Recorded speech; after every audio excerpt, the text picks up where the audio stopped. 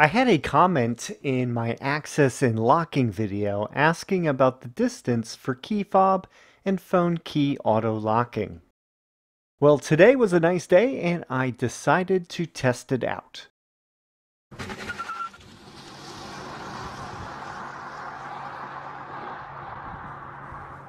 First, I laid down a measuring tape from the car to the far wall of the garage it ended up that this was not enough room to get the key fob or phone far enough from the car.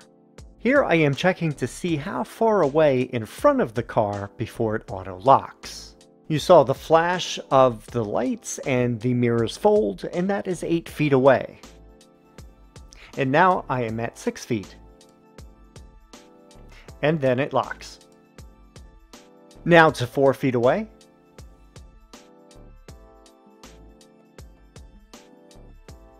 and then it locks.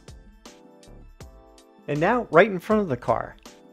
By the way, I had the Bluetooth turned off on my phone so it wouldn't interrupt the key fob.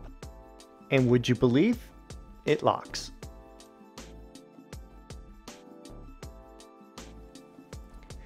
In fact, if you have the key fob anywhere near the middle of the front fender to the bumper, it will auto lock. I also tested this with the phone key and it works the same way.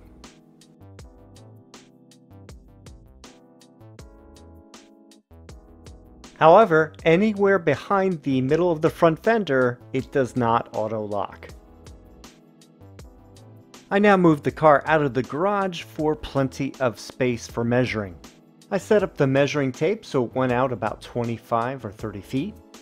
I started out at 10 feet away I moved back and forth a little bit, but nothing happened. So I moved back another couple feet, and still nothing. I had to move to exactly 20 feet away, and there, the car auto-locked. At this point, I'm going to test the phone key. I put the key fob in the house and inside a metal box so it wouldn't interfere. As before, I started at 10 feet with no response, I kept moving farther away from the Tesla. And wouldn't you know it, exactly the same distance of 20 feet, the car auto locks. Now I'm going to test the phone key distance from the rear of the car. I laid the measuring tape out from the rear bumper all the way into the garage. I'm at 20 feet at this point and so far nothing. I then move to 22 feet and then it auto locks. I turned the phone Bluetooth off and switched to the key fob. I do the same thing as before with the key fob at 20 feet and there's no response.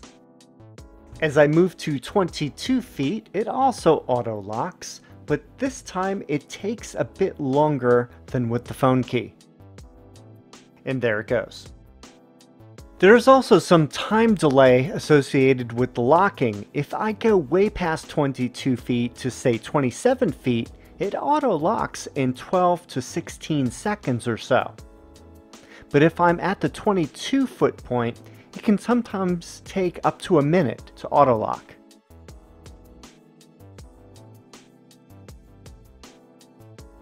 Here is an overhead view of the Tesla. So here we can see the results of the test.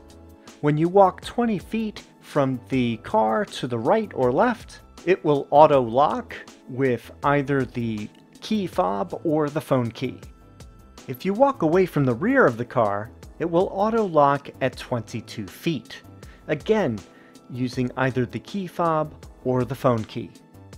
And finally, this surprised me the most, the car will auto-lock with either the key fob or the phone key anywhere from the center of the front fender to in front of the bumper, effectively zero feet from the car. Of course, the keycard and smart ring need to be physically tapped to the car for locking, so they don't apply for the same auto lock feature that the key fob and phone key operate with. If you have any questions or any ideas for more tests, you would like to see with the key fob or phone key, please let me know in the comments section below. Thanks for watching and I'll see you in the next video.